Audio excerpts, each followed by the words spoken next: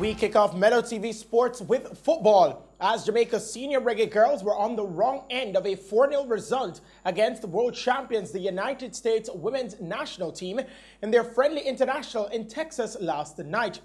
Riding high from last week's 1-0 victory over Nigeria, the Reggae Girls was brought down to earth by the USA team who are preparing for the Olympics by staging the summer series also featuring Portugal.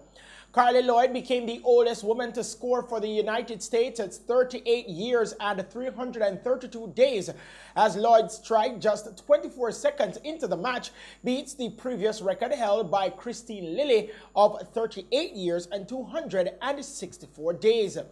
It marked her 125th international goal in 303 appearances. The U.S. is now 41 matches unbeaten, the third longest streak in the team's history. After Lloyd's opener, Lindsey Horan scored a penalty in the seventh minute to double the lead after Christen Press was brought down in the box. Midge Purce added another midway through the first half for her second international goal before Alex Morgan's 91st minute strike wrapped up the victory.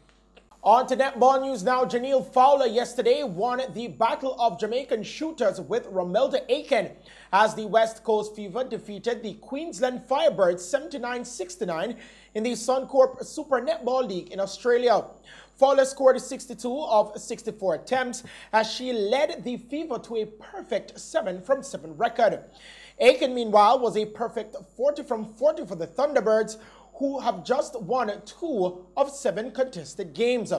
Also in top form was Shimona Nelson, who scored 55 of 63 attempts to lead the Collingwood Magpies to an emphatic 76-51 win over the Melbourne Vixens, the team of Kadian Dehaney. On to basketball. Chris Paul scored 37 points and Devin Booker added 34 points and 11 rebounds. This as the visiting Phoenix Suns defeated the Denver Nuggets 125 to 118 last night to sweep the best of seven NBA Western Conference semifinal series. Nugget star Nikola Jokic, the NBA MVP, was given a flagrant two foul and ejected late, late in the third quarter. He finished with 22 rebounds. Now the Suns are reaching the Western Conference Finals for the first time since 2010. Having last been there through the 2009-2010 season, they will either play the Utah Jazz or the Los Angeles Clippers. The Jazz currently lead the semifinal series 2-1. Elsewhere on the night, Giannis Antetokounmpo collected 34 points and 12 rebounds. This as the hosts, the Milwaukee Bucks, rode to a 107-96 victory in Game 4 of the Western Conference semifinals over the Brooklyn Nets, who lost All-Star guard Kyrie Irving to a sprained ankle. The series is tied at two apiece and game five is tomorrow in Brooklyn. Antetokounmpo matched his playoff high scoring game in this postseason by shooting 14 of 26 from the field. He scored 12 points in the decisive third quarter when the Bucks took control. The Nets lost all-star guard Kyrie Irving to a sprained ankle after he awkwardly stood on Giannis Antetokounmpo's foot on a layup. We bowl over to cricket news. West Indies cricket legend Sir Learie Constantine and Desmond Haynes were inducted into the International Cricket Council's Hall of Fame yesterday. The late Constantine was an early pioneer of West Indies cricket and an outstanding all-rounder. He was a member of the celebrated team which played in the first test match in West Indies history in England in June of 1928, going on to play 18 test games. Haynes was one of the most successful opening batsmen in the history of the game and formed a world-famous batting partnership with his long-standing teammate Gordon Greenidge. He was a member of the West Indies World Championship team in 1979.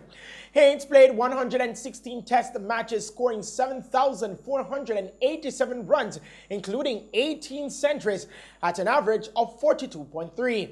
He also made 8,648 runs in 231 one-day internationals, which included 17 centuries.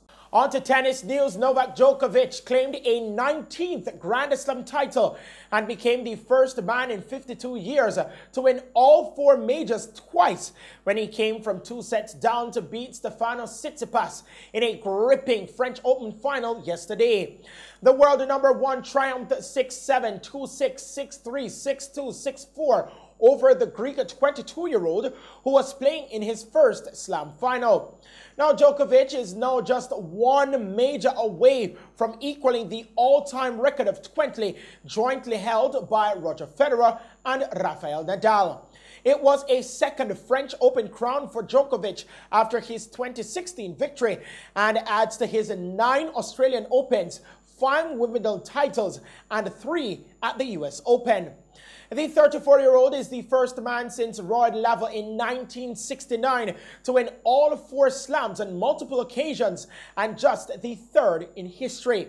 He is also the first man ever to win a slam title by twice coming back from two sets down in the same tournament.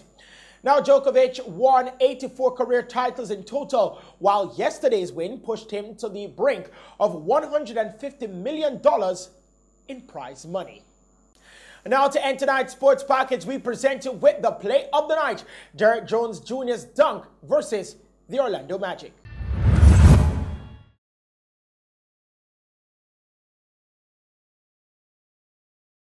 Waiters out to Jones Jr. Gets into the paint. Look out below. What a finish.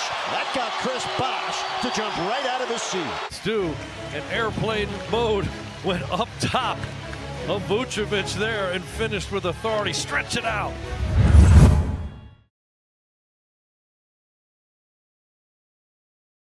And those are the stories making sports news tonight. We now head back to the news desk with Tamara Mikhail.